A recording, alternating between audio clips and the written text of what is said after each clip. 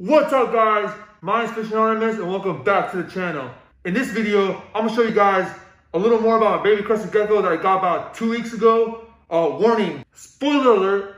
Alright guys, before you continue watching this video, check out my gecko unboxing video. I'll leave the link in the description. Let's get back to the video. Alright guys, so if you don't follow my Instagram, you should because I put content there all the time. Follow me on fish underscore anonymous. I'll put it right here on the screen for you guys. Alright guys, so on my Instagram, I posted a picture of my crested gecko and a few guys gave name suggestions and I'll put them up on the screen right now. And honestly, all the names were awesome. Thank you guys for commenting your, your suggestions. But I think I'm gonna go with this one. Alright, so I'm going with Drogon. Drogon from Game of Thrones. I love that name. I think fits my gecko and it's such a sick name. So Thank you, Paola, for picking the name for my gecko. Awesome. So as you guys know, I got my crested gecko from Fringe Morphs, uh, my experience on the whole situation. So pretty much, I ordered my crested gecko on Black Friday of last year, 2019. And I thought I would getting my crested gecko maybe a week, maybe two weeks after. They even said they would do um, overnight shipping. But I live in California and around that time it was pretty cold, but it wasn't that cold to ship geckos. But that's why I was kind of like, like what's going on. I wasn't sure uh, about this company in the first place. After about two months, um, I received my gecko. As you guys can tell in the most recent video, in the unboxing video, that's when I actually got my gecko. So whenever I posted that, I got my gecko that pretty much that day. If you guys get a gecko online, um, just know if you get it around Thanksgiving in December time and maybe even early as January, you might not receive a gecko as soon as you want. So that's just uh just FYI to tell you guys. Alright guys, so you guys click on this video for one reason and one reason only. My gecko in the back. So he, right now he's in his little critter cage. I'm gonna pull out the cage right now and show you guys him in a bit.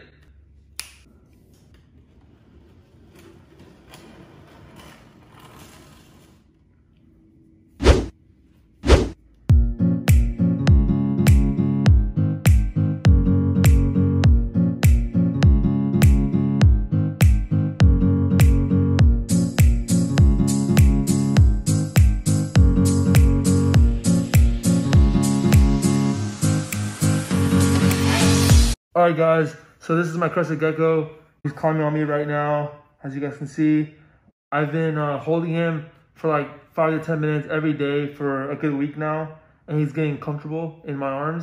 He's still a little skittish, so I'm just going very, very slowly. It's being a little hard, so I'm gonna put him down for a little bit.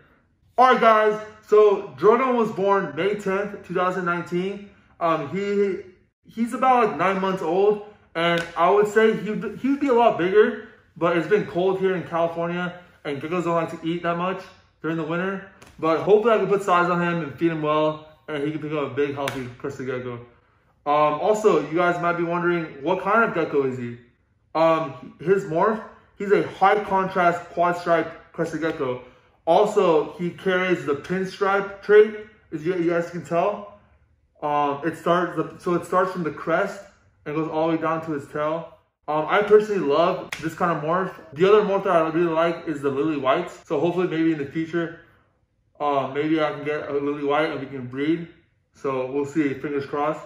All right, so what I do for care, how do I care for my baby crested gecko? So right now I currently have them in a small critter container, as you guys can see. I'm also using paper towels as substrate.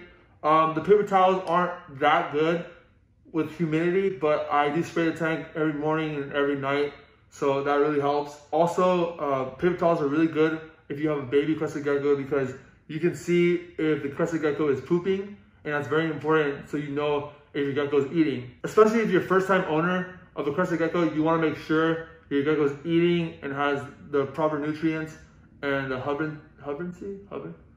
Also guys, don't be alarmed if your crested gecko doesn't eat the first week.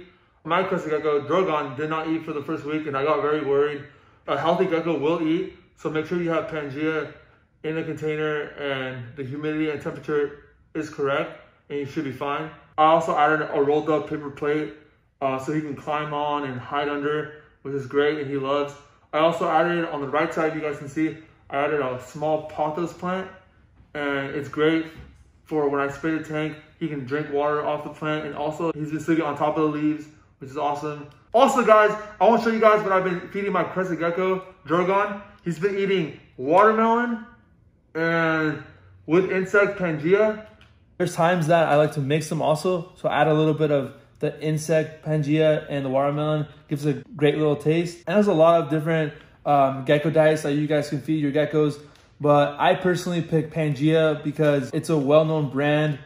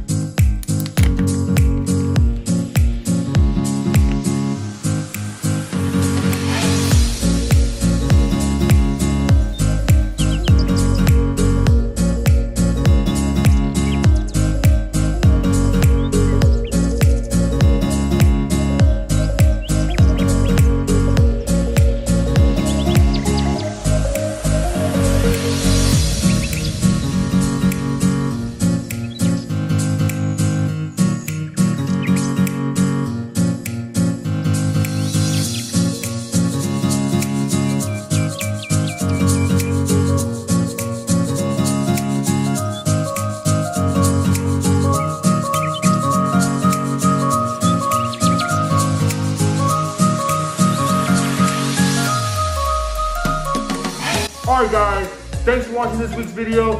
If you like this video, please give it a thumbs up, subscribe, and I'll be back with more videos next Sunday. Peace.